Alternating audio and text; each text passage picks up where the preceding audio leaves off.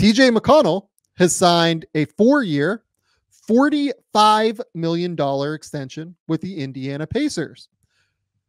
That means that his contract, he is now locked in for the Pacers for five years. So five years, 54 million essentially for TJ McConnell. Before we talk about what this means for the Pacers, and I do think it's worth kind of noting what it means for the Pacers in their long term kind of flexibility and plans moving forward. But to me, this is like a totally reasonable deal for a guy that has turned into one of the best backup point guards in the NBA.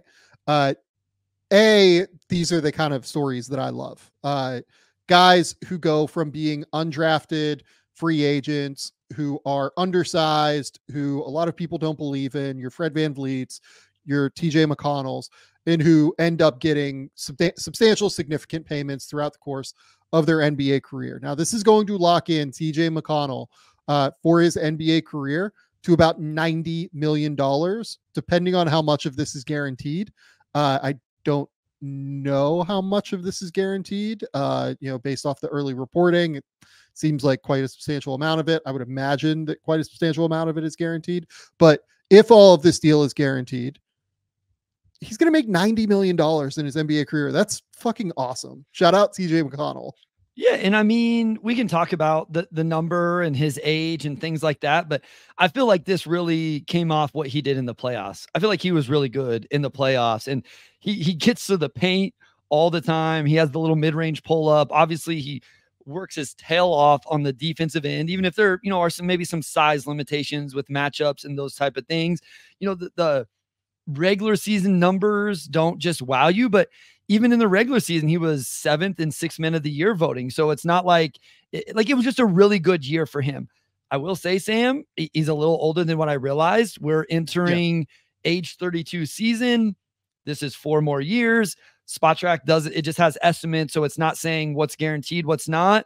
I think I would feel a little more comfortable if maybe there's not full guarantees as we get to the tail end of it. Yeah. But just as the number, you're way below the MLE throughout all of this. And if he can stay a top, what, even a top seven backup point guard in the league, that's more than worth it for that type of player. Yeah, so TJ McConnell had his best season of his career last year. Yes. Averaged 10 points per game, shot 56, 41, 79 from the field, averaged five and a half assists versus 1.5 turnovers. The thing with him is that the athleticism isn't really going. Uh, if you look at like his drives per game, right? Like he's consistently uh, among the league leaders in drives per minute played, right? Like he just always gets to the paint. He's always kind of wreaking havoc and creating that weird kind of tempo that he's able to somehow it's weird that he gets into the paint as much as he does. It's, the easiest way to put it. Yeah. But he does. He just knows how to live there. His is it crazy to call is, him a walking paint touch? I feel like he was a walking paint touch every game I watched. It was crazy. Yes. No, he really is. He is a walking paint touch. He's a good defender. Like he brings a lot of value to the table. It really just depends on how long the athleticism yes. ends up holding up for him. Yeah. Uh, I'm with you. I would hope that there are probably some non guarantees near the back end of this deal. The last year, particularly, I think could be a little bit dicey. That would be like an age 36 season. Yes. But man, his footwork is unbelievable. He knows how to play in ball screens, the passing ability, the decision making, the defense. Like he's a really, really valuable player.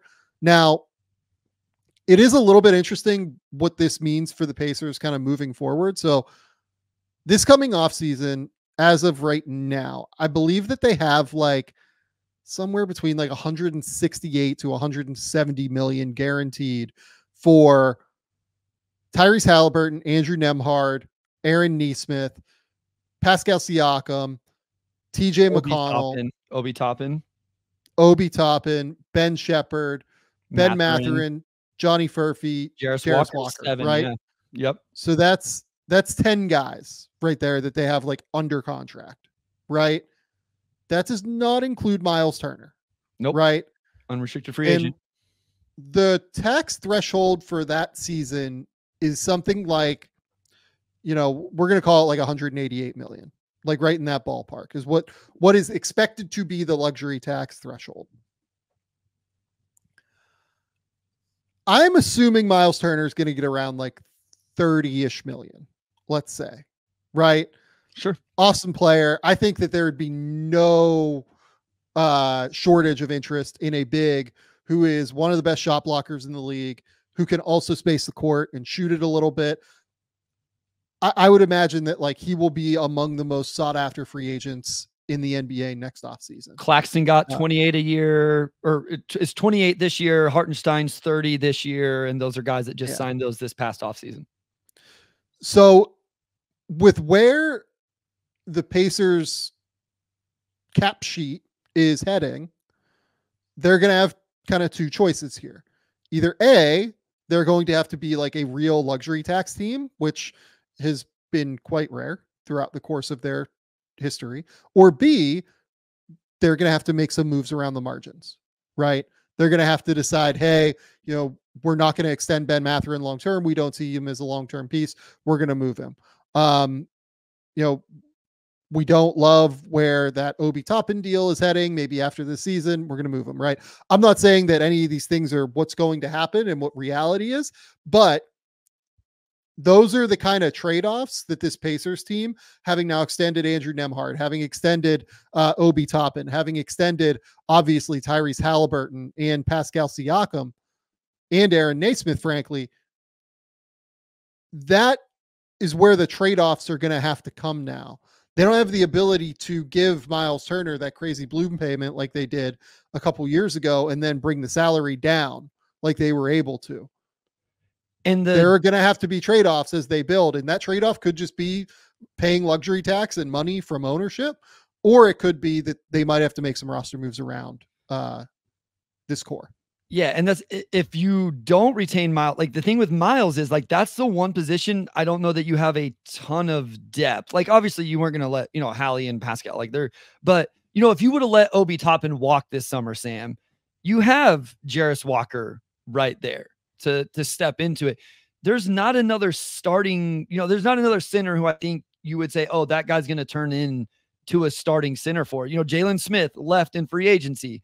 It's mm-hmm. Wiseman and Isaiah Jackson. And, and I know we've talked about Toppin playing center off the bench and things like that, but not starting at center. So uh, I guess what I'm saying is there's not a direct replacement. You know, if they let a yeah, if they let a Benedict Mathurin go, maybe you talk yourself into okay, well now Johnny Furphy's the next guy in line for that or something like that. Yep. You know, with Turner, I just don't see the guy on the roster where you can say, oh, okay, if they lose him, that's going to suck. But they have this young big man to step into the role. That guy's not currently on the roster.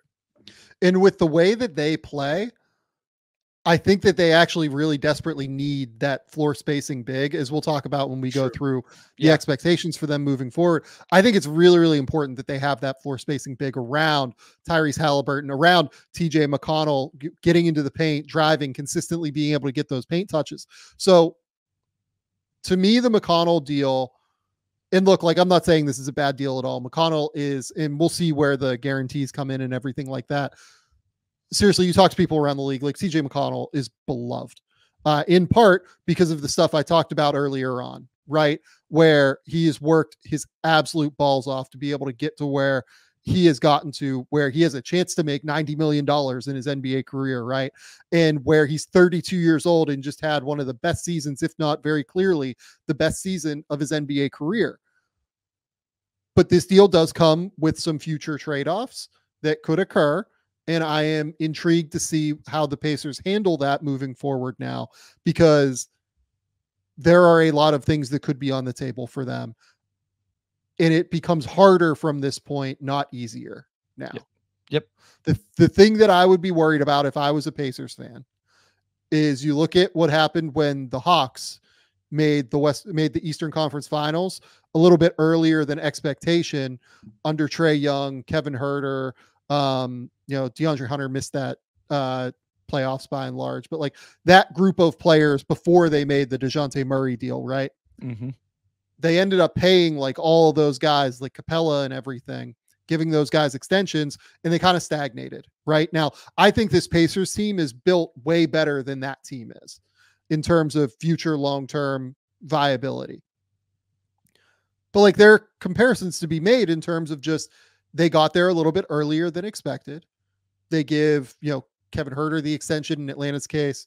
Andrew Nembhard the extension in the Pacers case, where you and I think that Nembhard extension looks like a great deal, but you know, we I thought the Kevin Huerter deal looked like a great deal at the time, and they were able to get a first round pick back, but like they haven't really gotten anything for yeah. that at this point yet. Uh, you know, they do the Bogdanovic deal. Bogdanovic has turned out really good for them, but you know it hasn't resulted in wins and losses. And now you know they go in, they bring in Dejounte Murray to try and take the leap. They end up sending Dejounte out for a you know cost of not having reached back to those heights, as well as I think like a net loss of one first round pick. Let's call it uh, something in that ballpark. So it gets harder. My point here is not to say like Pacers fans should be worried it's just that it gets harder from here, yeah. right?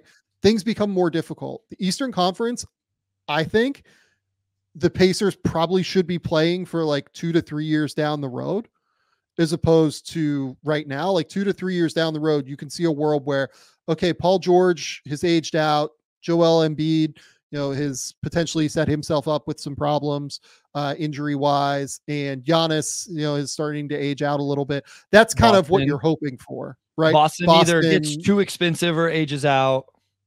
Right. Now, again, like we're not saying that these things are necessarily like 100% going to happen, but if you're Indiana, I think that's the window you're hoping for more than anything. So if I'm them, I understand why you're doing these deals while also trying to figure out, you know, how do we best set ourselves up for that window in their case, they have all these interesting young players who are going to continue to grow and mature and get better in Jarace Walker, hopefully. Um, hopefully, Obi Toppin takes another leap. Maybe Mathurin can be the kind of guy that gets better. But with the Toppin and McConnell deals, particularly this summer, they've made the decision making process, they've sped it up a little bit, uh, is the easiest way to explain it. Because now they have to make choices around their core with Miles Turner, with Toppin, with you know Nembhard, with Mathurin, with uh Walker, because Mathurin is going to be looking for an extension next summer, potentially. If he plays well this year, he's going to want an extension. Miles Turner is a free agent. You're going to have to pay him.